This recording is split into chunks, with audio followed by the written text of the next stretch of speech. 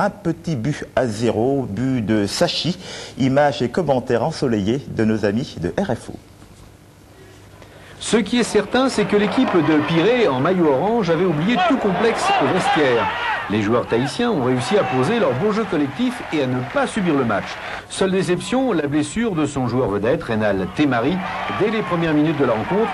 Une blessure qui a diminué le rendement du milieu de terrain, compensée par la combativité de Jean-Paul Vente.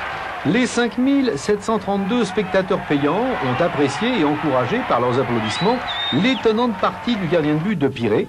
Ricky Fassin était en état de grâce, il a réalisé le meilleur match de sa vie de footballeur. Sa prestation a donné confiance à ses coéquipiers dès les premières minutes et tout au long de la partie.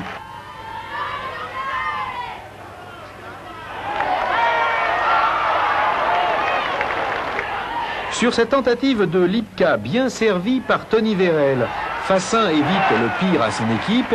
Il n'hésite pas à sortir et à prendre le ballon dans les pieds de Tissot et à la mi-temps. La marque est de 0 à 0.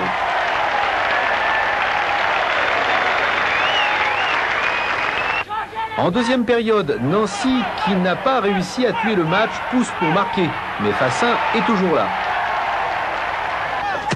Sur corner, il est placé et secondé par Henri Terrorotoua au deuxième poteau car la défense s'est mise au diapason de son gardien. Leigong qui part sur le côté droit après quelques feintes réussit à centrer pour Hiro Labaste dans la surface de réparation mais celui-ci ne peut reprendre, c'est une belle occasion de manquer.